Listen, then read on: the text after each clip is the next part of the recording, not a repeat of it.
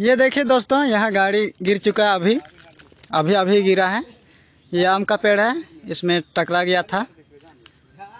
देख सकते हैं। और इधर से भी दिखा देते हैं आपको।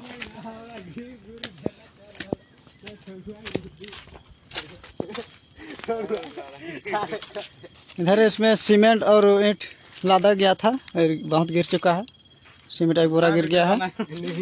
देख सकते हैं गाड़ी का हाल क्या है। देख सकते हैं ये फ़ोटो खिंचा रहे हैं यहाँ। ये ऐसा हो गया है पूरा इंजन खराब हो गया है। और ये गाड़ी कहाँ गिरा है उसको भी हम बता देते हैं। ये केवेटांग का सीन है ये देख सकते हैं। इधर।